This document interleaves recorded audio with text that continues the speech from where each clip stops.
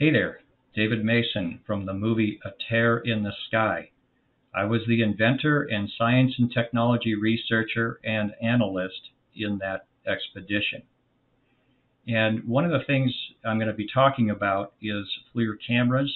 Um, now, to give you background, my company, we contracted with a thermal camera manufacturer.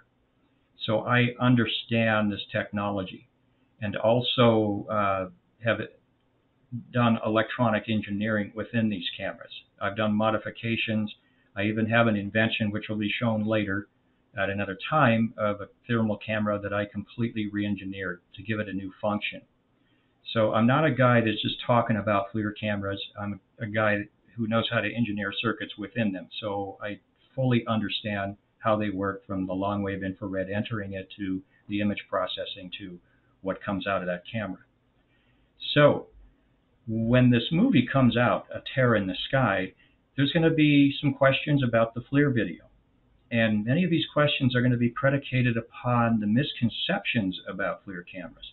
And I'm going to talk about those misconceptions so that when you watch these videos, you'll have a better understanding.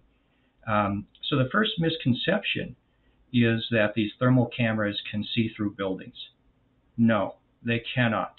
That's Hollywood fiction. You can't see through buildings. I don't care who you talk to in the sense of outside of a thermal camera manufacturer. If you contact a manufacturer, they will explain it to you. You can't see through buildings.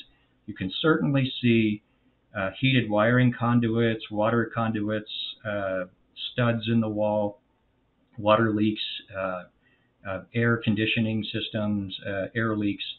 Uh, those kinds of things can be seen but people walking inside buildings, you cannot see them. So get that out of your head. Just, you know, purge it. And you can also cross-reference what I'm saying by contacting them. So the next uh, misconception is that thermal cameras can see color. No, they can't. Uh, they actually take what is a monochrome video or photo and they colorize it. And these are uh, colorization uh, platforms that are done for the purpose of enhancing your ability to see contrasts of different temperatures. So if you have an object that has a specific temperature and has a specific apparent color, that color can, can be compared to the camera's calibrated temperature span. And you can get an accurate measurement of that object temperature based on its color when compared to the calibrated temperature span. And that calibrated temperature span can be set automatically or manually based on you know, your, your parameter settings. So that's what the color is. It's false color for the purpose of color um, identification of temperatures, making it easier for the user to readily identify temperatures. And so the next um, uh, misconception is the concept of distance and temperature. And surprisingly, I've run into PhD physicists who think that you can't see temperatures beyond a, a certain distance and measure it with a, a thermal camera. And I tell them, look, you know, NASA has been imaging long wave infrared for decades, uh, even past long wave infrared. And it, you can quantify it. You can measure it at great distances to the greatest, you know, reaches of the known universe. So it's there is no real limit um, based on on the long wave infrared. Um, there's an attenuation factor from the Earth's atmosphere if you're looking into outer space there are these band gaps where there's high attenuation, low attenuation, and that can affect temperature measurements or, or just getting the data. But there technically there really is no limits other than atmosphere. And uh, you know you can take a low-cost thermal camera and point it at the moon and see the moon, and that's approximately 240,000 miles distance, so that's pretty far. And and even get a measurement off that moon uh, surface won't be accurate because of the attenuation factors of the uh, atmosphere. But certainly you can see great distances. So this is a um, very common misconception. Now the, the next misconception is that FLIR emits some kind of radar. Uh, I've heard this going on, and no, it doesn't. Thermal cameras are passive. They just receive medium or long wave infrared into their imager and not transmitting anything. This may be getting confused with LIDAR is my guess is maybe that's what's happening is there's some confusion. But as far as the passive measurement devices that do video and stills do not transmit any data. Um, so uh, the next misconception is, I'd say, the, the brand name, FLIR. Now, FLIR is just an acronym, Forward Looking Infrared. And it's commonly used, in what's also used with it is thermal camera or medium wave IR, uh, medium wave infrared, or long wave infrared. infrared. That's um, really the identifiers. And FLIR is also a brand name. So uh, one company bought several thermal camera manufacturers and started manufacturing it under the name FLIR and innovated their own technology and, and really grew this thing into a, uh, a very big uh, corporation. And so the name is confusing, and uh, people think that if it's FLIR, it has to be that particular manufacturer. There are several manufacturers of this technology, and not just one uh, particular manufacturer. And so that that's also a, a misnomer. Now, also another misconception: thermal cameras can only measure heat and not cold temperatures. Well, this isn't true. You can take a low quality consumer grade thermal camera and and look at a snowbank with it and see the snow. So it's actually quantitating and it, it may even have passive temperature measurement where you can measure the surface temperature of the snow. That is a cold temperature, not heat. And it's a form of long wave infrared. So don't get the concept uh, mixed that, oh, it, because the name thermal camera, it confuses people. So we think that it, it can't measure cold temperatures. Many of these consumer grade cameras will go down to minus 40 Fahrenheit, and some of the industrial grades will go below that temperature. So again, understand it's being misunderstood as a uh, technology. Um, so this is one of the big misconceptions. Now, another big misconception is the name FLIR is being thrown around. I see it all over.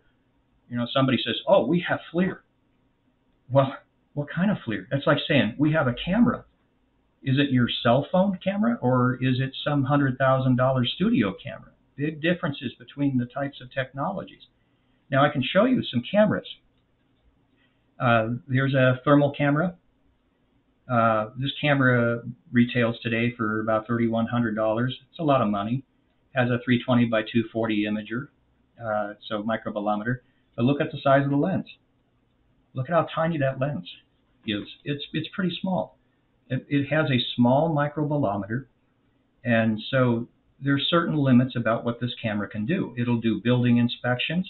It's great for that. It's great for search and rescue or Bigfoot hunting. Um, but when it comes to pointing this at the sky, expecting to record anomalous objects, the video frame rate isn't going to be satisfactory. And some of these cameras are being advertised falsely. Now, I'm not saying this particular brand. Uh, I've found that FLIR has actually been very honest about how they advertise their products. Um, but one of the couple of things that happen is some camera manufacturers will say, oh, we have 60 hertz frame rate, but the the imager is actually being sampled at maybe 2 hertz or, or 7 hertz, at much slower frame rate, and they're just chopping it to uh, give you a video feed that looks like it's 60 cycles, but it isn't. And and so what that means is if an object flies and transitions across the screen, you're going to have images that are smeared. A bird will just look like a smudge and a blurry mess, and you won't be able to identify it. And that is inherent with the small lens cameras because you can't uh, get the quantum efficiency of, of the low energy from a um, long wave infrared. Long wave infrared is very low energy, especially as it gets colder. And this is where these cameras don't really quite do it for video, but they work excellent in other fields. Now, we have another camera. Now, this is a real camera. Look at the size of that lens. That has a massive microbolometer and a massive lens. This has great quantum efficiency. The microbolometer is large, the lens is large, it will collect more long wave infrared efficiently to the camera. And the advantage of this is quite a few advantages. You can get more accurate temperature measurements. You can get faster frame rates. This camera can do uh, 240 frames per second. I can set it for that that rate. I typically run them at uh, at 60 frames a second. And the other advantage of cameras with these large lenses, this is what you want to look for in this UFO research, is to um, use this kind of lensed camera because that means it'll be efficient and also capable of measuring cold temperatures, provided the firmware within that camera will range down to those cold temperatures. And I'm talking about lower than minus 40 Fahrenheit. And the um, capability of being able to fast frame cold objects is something that is not capable on, on some of these cameras with small lenses. And this is why this camera with the lens set was over $50,000. And, you know, big price difference between this uh, $3,100 camera. And that's why the prices are different because of the performance differences. So when somebody says, oh, we have FLIR or we're going to buy FLIR, understand that you've got to know what type of technology you're buying and what to expect from it. And also, another thing to talk about, and this comes back on uh, the consumer grade cameras. Some of these cameras, FLIR not being one of them, of this brand, are being advertised as having great resolution. And I saw one that had a 160 by 2, uh, it was a 160 by 120 resolution, but the display resolution was 640 by 480.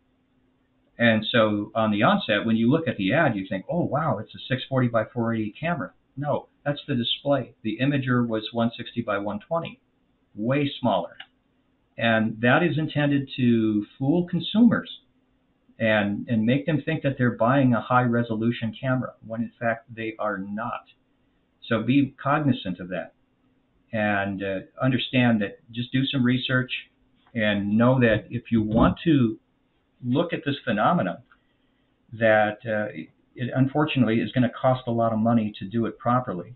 Uh, that's why we have these expensive cameras and these low cost cameras. And you can buy a low cost camera and maybe see something with it. Um, but if that object's moving, um, it's it's not going to give you much data. And oftentimes, I think you're going to get blurry images, and and people will start recording blurry images and thinking it's a UFO when it's probably a bug or a bird. So just keep that in mind.